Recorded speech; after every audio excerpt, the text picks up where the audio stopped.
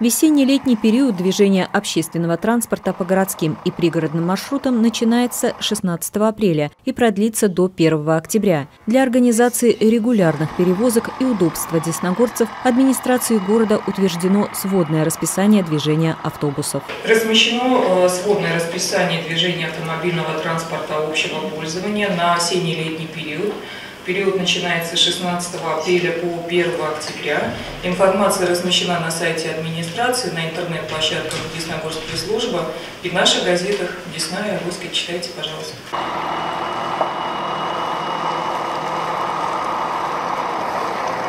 Также сводное расписание движения общественного транспорта в весенне-летний период размещено на сайте телеканала desna.defistv.ru и на мониторах в автобусах транспортной компании «Атомтранс».